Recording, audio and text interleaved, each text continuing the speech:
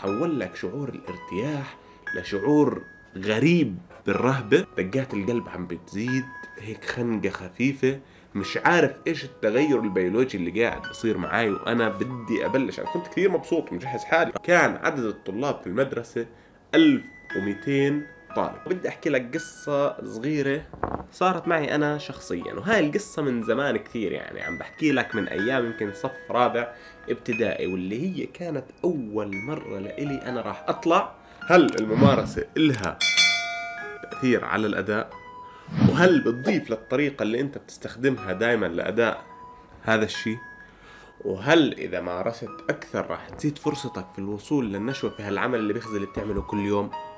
هلا بغض النظر عن تفكيرك اللي بيجنن اللي هو أصلا أساسا بيعجبني بس احضر الفيديو الآخر حتى تعرف عن إيش أنا قاعد بحكي.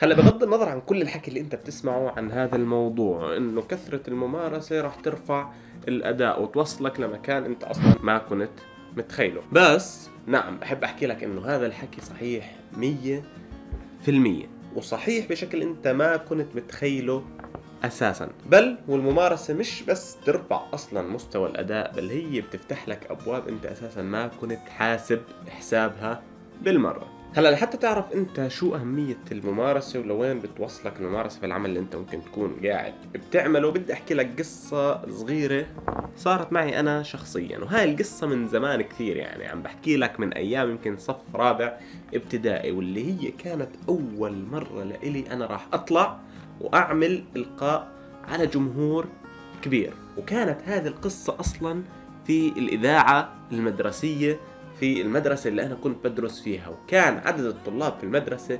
1200 طالب. المهم أنا ما كنت متخيل شو اللي ممكن راح يكون ممكن إنه يصير معي.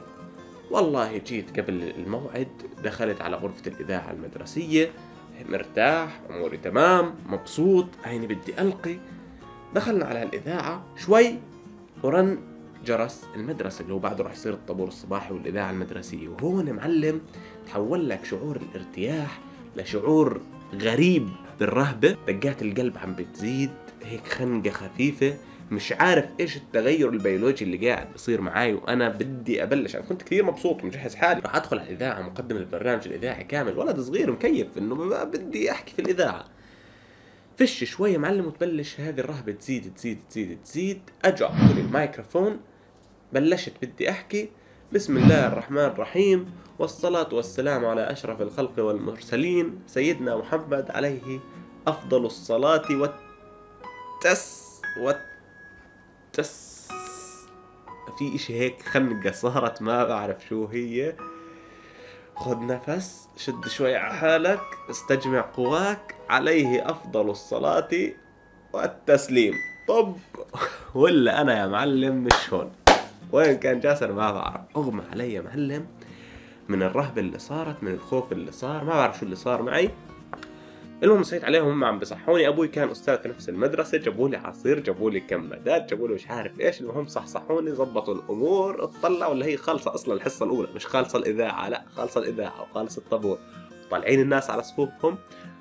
خلصت الحصة الأولى اللي ساعة زمن مر وأنا مصحصح وأموري تمام. قاعد عند المشرف التربوي اللي في المدرسة. وصحصحت أنا أرجع أحسبها إنه شو اللي صار معي يعني؟ أنا ليش صار معي هيك؟ طيب ما, ما كنت متخيل إني أنا ممكن يعني أخاف أو يكون في رهبة لهالدرجة لا. المهم ثاني يوم الأستاذ قال لي اسمع آه ما راح تدخل كمقدم. يعني أنت راح تدخل أكيد ما راح نلغي الموضوع بس ما راح تدخل كمقدم بدك تدخل مثلا في فقرة هل تعلم تدخل بتقدم فقرة هل تعلم والله اللي صار؟ إنه أنا جيت حسبتها. هل أنا أوقف وقت أطلع في الإذاعة؟ قلت لا. أدخل على فقرة صغيرة بشوف شو الوضع تبعي بشوف شو اللي صار معي بعدين بكمل. هذا وأنا صف رابع. دخلت فقرة هل تعلم؟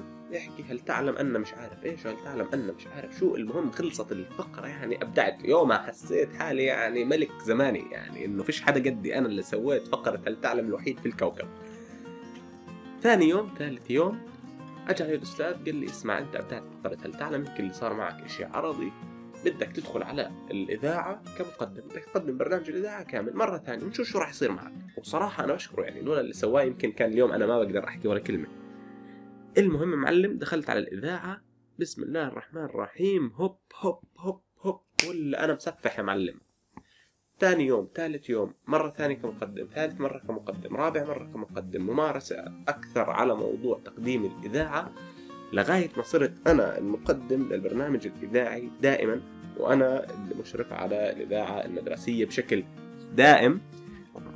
و... وخلص يعني إنه وصلت لمرحلة إنه أنا بحكيها من غير ما أفكر أصلا أو من غير ما أحس إنه أنا في جمهور 1200 طالب عندي في المدرسة. وبعديها في السنة اللي بعدها شاركت في مسابقة لإلقاء الشعر على مستوى ال ال الوزارات وجبت فيها مركز مرتب. ولغاية ما وصلت لعند الجامعة ودخلت على الجامعة آه، صرت أعطي كورسز أو أدرس برامج هندسية. كل هذا يعتمد على الإلقاء. كل هذا بده ممارسة. وأنا كل مرة بمارس فيها هذا الموضوع أكثر بصير فيه أحسن وبصقل فيه شخصيتي بشكل كثير أحسن. دخلت سنة ثانية خلصت سنة ثانية وانتخبوني في الجامعة كرئيس لنادي الفنون في عمادة شؤون الطلبة. وزي ما حكيت لك صرت أعطي كورسز أكثر كمان غير هيك. وكمان صرت أساعد المدرسين أو المهندسين في المراسم اللي بتدرس التصميم والإنشاء الهندسي اللي عم تحكي عن تقريبا 30 ل 40 طالب بتلاقي إذا مش 60 طالب في آه، المرسم. غير هيك كمان في آه، انتخابات الجامعة بكون مثلا طالع أحكي لي كلمة قدام كل الطلاب اللي بينتخبوا مثلا حكيت مرة كلمة طبعا هي أكيد تنقرت أنا وواحد صديقي الله يسهل عليه. و و غيرها وغيراتها لغاية ما وصلت إني أنا كمان أدرس في مركز الاستشارات في الجامعة الأردنية درست دبلوم ال graphics design ودرست دبلوم التصميم الداخلي.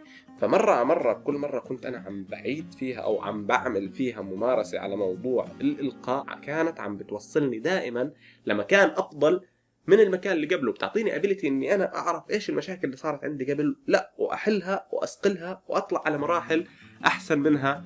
بكثير. وبعديها كمان عندنا مجموعة هندسية من المهندسين في الأردن طلعت كمنظم للحفل اللي حضروا يمكن أكثر من 300 أو 500 مهندس مش متذكر أنا قديش العدد في قاعة من قاعات أحد الفنادق في عمان.